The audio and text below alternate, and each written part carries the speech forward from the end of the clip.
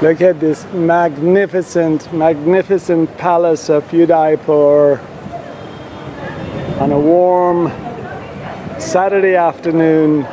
The details of this palace is just so incredible.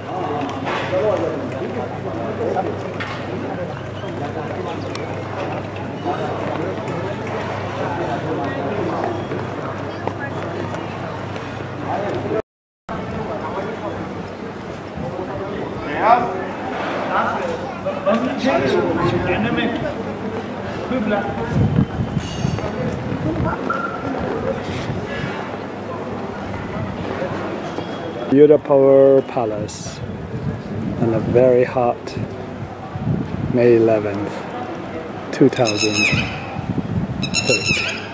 I'm so happy to be here. Here is the magical city of Udaipur.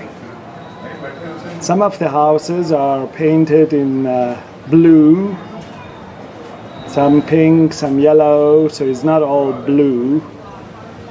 From the white city, This is the Toran Pol, the entrance gate with the Ganesha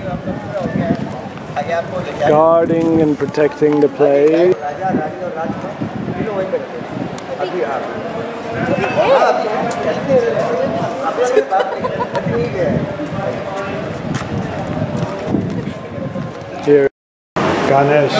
Elephant god.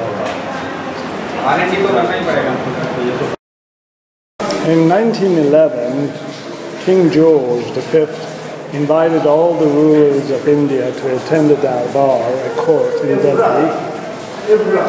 And then for each one of them there was a chair according to the, his statutes.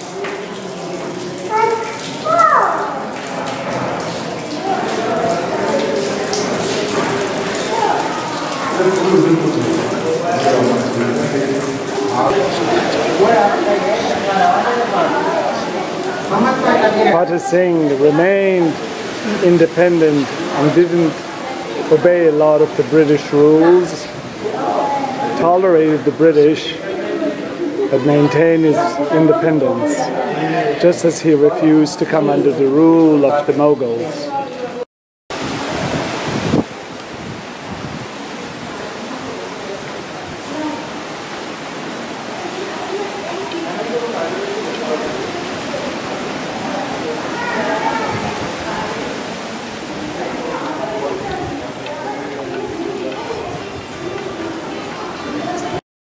This is Khane Ki Borj, beautiful mirror and glass.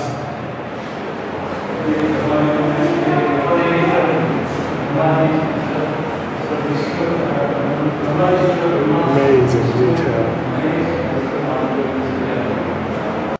Kanch Ki Maharana Shambhu Singh Ji, lotus flower, symbol of creation,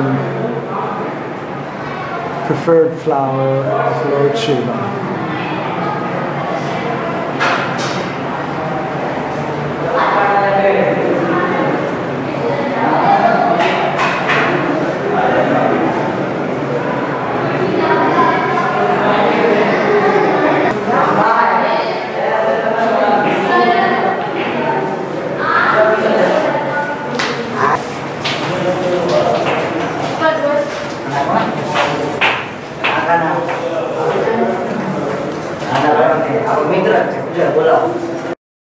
Tiles in this courtyard were brought by Portuguese, some of them from China and some from Delft, Holland, and Belgium.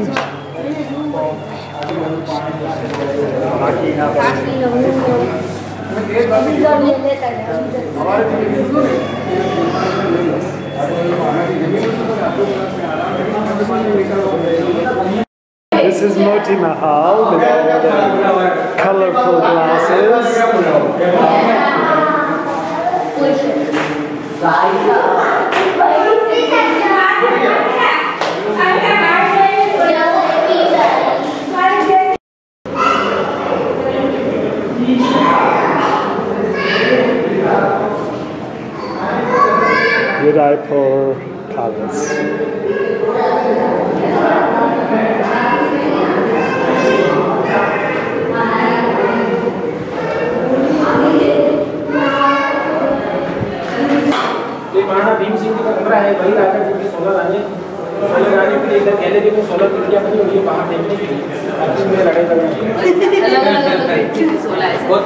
किसी को एक पे बैठना। सत्रहवीं शादी।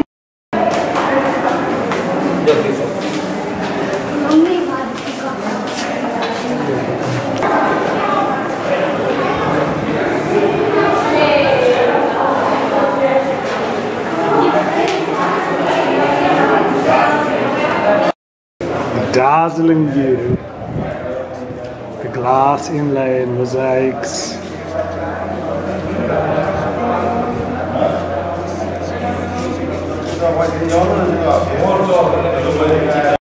Such a beautiful palace, Udaipur.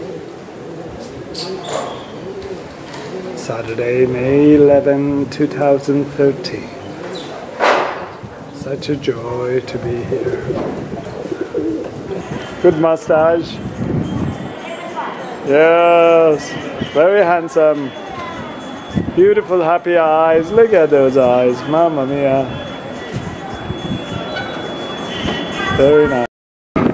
Here is a beautiful Ganesha protecting the palace against all the evils. I learning so much about their tradition and culture and their love for independence and how difficult it was for the Mughal Empire to change their way and even the British had a difficult time to bring this particular royal family under their rule Marwar. And I assume that he has all the attribute and character of the previous ancestors, like independence, love for autonomy and independence, which is a good things to have. Hopefully, one day I'll meet him. Goodbye, beautiful palace. I learned a lot. Udaipur, Soraya, people who claim to be the direct descendant of the Son of God. Whether there is a real proof to that is questionable. Whether Krishna, Shakti, Shiva, and all those god and goddesses Parvati were actually existent or they were just myth is also, to my opinion, is questionable. But is a beautiful story. Every turn you make, there's so much beauty, so much craftsmanship. Unbelievable.